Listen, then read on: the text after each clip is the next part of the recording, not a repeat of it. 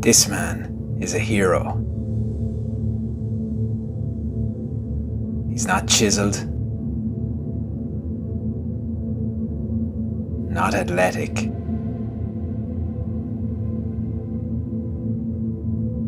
He doesn't win much. And he's not exactly a hit with the ladies.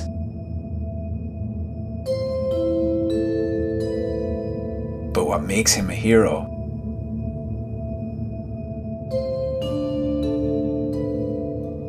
lies deep within his soul.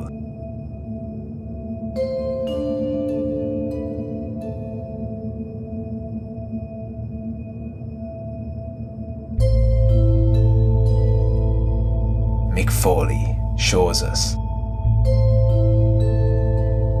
that we must never back down.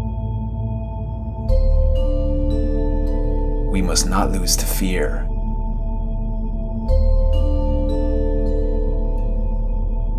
We must never let fear win.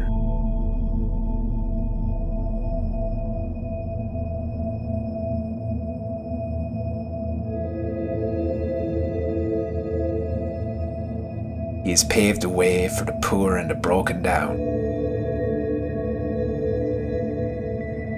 to show us that true heroism isn't measured by physical appearance or ability. It's measured by the strength of their soul.